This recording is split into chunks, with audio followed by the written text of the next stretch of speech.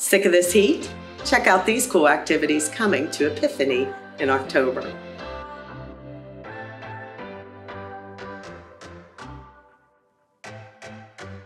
Mark your calendars, dust off those lederhosen because Oktoberfest is returning on Saturday, October 21st from 2 to 6 p.m. and we need your support. There are so many different ways that you can help. You can be an event volunteer. You can help us cook our German delicacies and a lot more.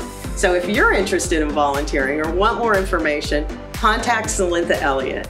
And please don't forget, it's officially time to start planning for our annual Boo Bash on Tuesday, October 31st from 5 to 7 p.m.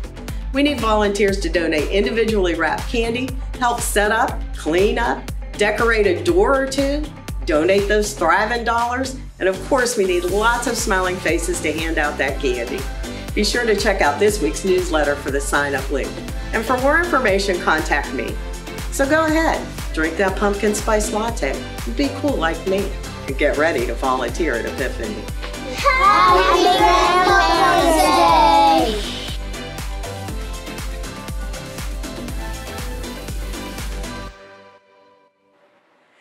Is the air conditioner even on?